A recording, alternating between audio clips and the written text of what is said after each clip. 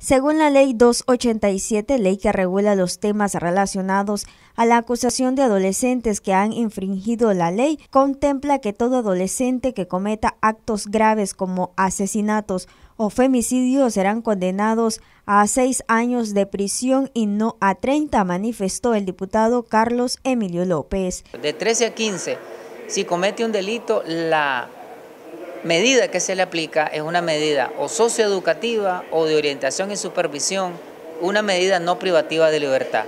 Y entre los 15 años cumplidos a 18 no cumplidos, si comete un delito grave, se le puede aplicar una medida privativa de libertad, que va de 0 a 6 años.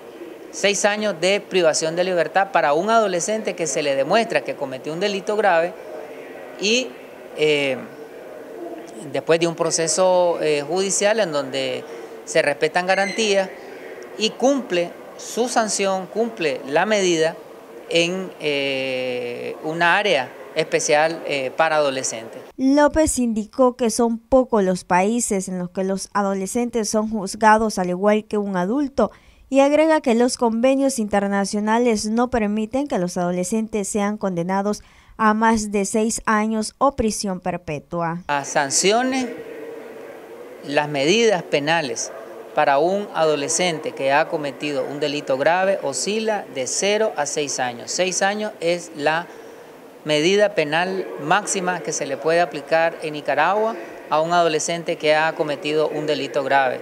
Y no solamente en Nicaragua, en la mayor parte de países del mundo, los adolescentes son juzgados de manera distinta que los adultos. Son pocos los países que los adolescentes son juzgados de la misma manera que los adultos. Uno de los pocos países del mundo que ocurre eso es los Estados Unidos.